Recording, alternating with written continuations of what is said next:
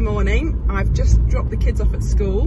Um, my husband's driving me to the station, hoping to get the 9.29 train for a really busy week in Westminster. So I'm hoping to speak in a debate tomorrow on families and the impact of coronavirus on family life, which I think is a really important issue. And I've got lots of um, stories that constituents have told me that I think need to be heard. And we're debating the new points-based immigration system this week and lots of other things. Well, I've made it to the train. It's probably going to be empty. It's been empty the last few weeks, sadly. Probably get a carriage to myself again. I've just arrived at St Pancras, managed to catch up with a few emails and write most of my speech on the way. Off to get the underground now. It's nearly one o'clock. I've dropped off my suitcase. I'm walking over Westminster Bridge now into Parliament. I've got an afternoon of meetings. I'm going into the chamber to ask a question. Um, and I think we'll be voting about 10 o'clock tonight probably. I'm just on my way to the chamber now. I've got a question to the Secretary of State for the Department of Work and Pensions. I'm first on the list, so I need to make sure I'm in my seat early. And I'm glad that the scheme is already helping my constituents in Penistone and Stocksbridge, many of whom are now struggling to find work as a result of the pandemic. But getting people back into work will require a national effort, so can the Minister provide a broader update on the rollout of the scheme? I've just had a meeting with Amanda Solloway, who's the Minister for Science. She's got some really exciting projects underway. And do you know, it's been great to see you and I am so enthused. We want to become a science superpower, lots of things that we can do. And Miriam, your advice and support has been really appreciated. Good. Well, as a former science teacher, I'm really keen to see science at the forefront of British innovation. So Yay. looking forward to working with you. Fantastic. I'm just walking down Whitehall now on my way to 10 Downing Street for a meeting. Um, voting isn't imminent, it's only a five minute walk from Parliament to Downing Street, so there's plenty of time to get out and about for meetings. Had a lot of votes tonight, and because we're socially distancing in long queues. Voting takes a long time at the moment. Just about finished my speech for tomorrow. Um, just got to tidy it up in the morning. So this morning I spoke in a debate about families and I talked about how we need to strengthen families and communities in the future. And I'm off to meet a member of the House of Lords now who I'm working with um, in some of these issues. And actually families and communities are the main reason that I came into politics. Um, we've got some amazing strength in our communities and families, but also some real challenges.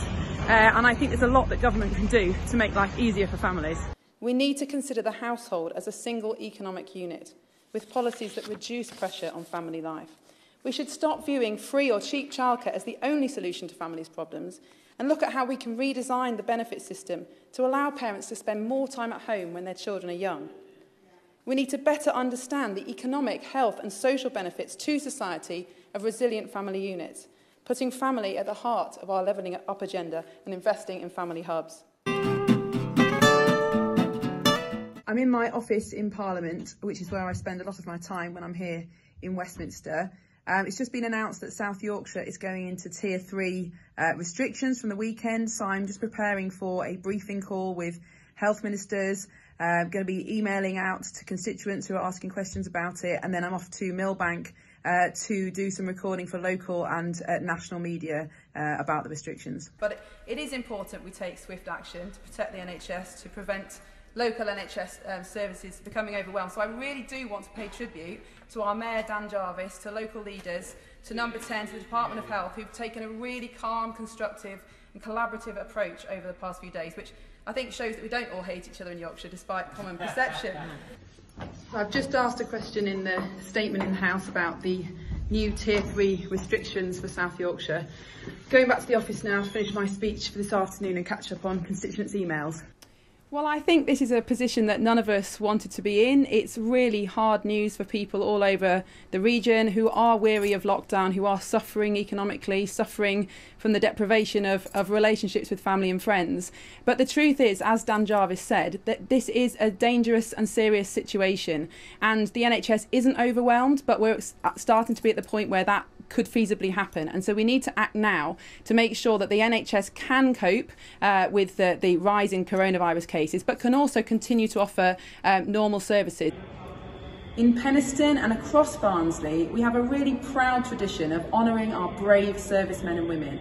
And I'm here at the War Memorial in Westminster Hall. And obviously, it's really sad that we can't meet physically together to share our normal Remembrance Day um, commemorations. But I think it is really important that we do mark Remembrance Day in our own homes, that we thankfully remember the many, many servicemen and women who've paid the ultimate price for us over many years, uh, buying us freedom and peace The very fact that we have reopened schools, that 99% of state schools are now open, shows just how committed this government is to tackling child poverty because saving our children's education, catching children up uh, where yes. they've fallen behind is the number one thing that we can well, do to help bring people out of poverty. It's Wednesday night, I've just got into Sheffield. We're not voting tomorrow, which has meant that I've come, uh, been able to come home. Um, so I've got tomorrow and Friday in the constituency, uh, meeting people, visiting businesses, uh, just need to get back home now. Just been for a visit here at CTL Steel in Ecclesfield. employ over 200 people on this site. fascinating, uh, different businesses, different manufacturing and some great ideas from the team here about how to develop apprenticeships and employ more people in the future been great to get out and about in the constituency this morning. This afternoon I've had various Zoom meetings and an online surgery. Obviously, current situation, it's harder for people to come into the office. Off to pick the kids up from school now. Friday, I'm in the constituency, been doing lots of letters and phone calls and emails this morning. Just popping over to Fox Valley to get lunch from the amazing Bridge Bakery. So this is my constituency office. Um, obviously most of the time as an MP I'm in Parliament in Westminster, but when I'm here in the constituency, this is where I'm based. I've got a fantastic team who are here all week. So even when I'm in Parliament, they're here dealing with things in the constituency, whether that's emails, phone calls, um, helping people with, with, with various different issues. As an MP, I do get an enormous volume of correspondence, probably about three or four hundred emails a day at the moment, and phone calls. So obviously, no MP can can um, reply to all those emails on their own. So that's what the team is for. I've got a team here, and I've got a team in Parliament, and they're doing an amazing job. But actually, for a lot of women I speak to, it's the lack of informal childcare that has been the, one of the big issues over lockdown. Not being able to use family and friends, whether that's on a routine basis or an emergency basis. I think, you know, the lockdown, the closure of schools, you know, all the restrictions have shown us just how much we rely on other people in our community, in our network, not just to look after our children so we can work, but to help bring up our children, to help contribute to their lives, to our relationships.